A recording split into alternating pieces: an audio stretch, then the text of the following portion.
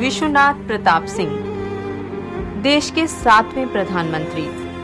इलाहाबाद में 25 जून 1931 को राजा बहादुर राम गोपाल सिंह के घर में उनका जन्म हुआ। अपनी शिक्षा उन्होंने वाराणसी, इलाहाबाद और पुणे विश्वविद्यालय से पूरी की। वीपी सिंह ने उन्नीस से छात्र राजनीति से अपने राजनीतिक जीवन की शुरुआत की और उन्नीस सौ सत्तावन में भूदान आंदोलन में भी भाग लिया।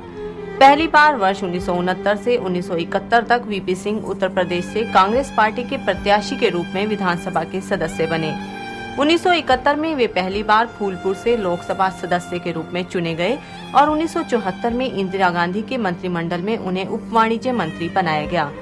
बाद में वे 1976 में कैबिनेट मंत्री भी बने। विश्वनाथ प्रताप सिंह 1980 से 1982 तक उत्तर प्रदेश के मुख्यमंत्री भी रहे। सन 1983 से 1988 तक वे राज्यसभा के सदस्य रहे। वर्ष उन्नीस सौ चौरासी में उन्हें उत्तर प्रदेश कांग्रेस कमेटी का अध्यक्ष बनाया गया।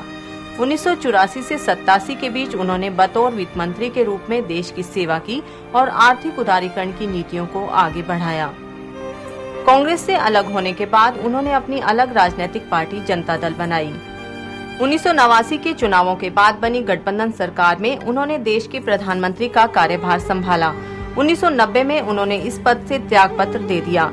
अपने प्रधानमंत्री काल के दौरान पिछड़े वर्गों को नौकरी में आरक्षण दिलाने के लिए उन्होंने मंडल आयोग की रिपोर्ट को लागू करने का फैसला किया।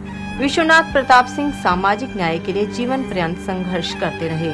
बहुआयामी प्रतिभा के धनी वे एक चित्रकार और कवि भी थे। आने वाली पीढ़ियाँ श्री सिंह को देश में सामाजिक न्याय के प्रणेता के रूप में याद करेगी। Bureau report D News.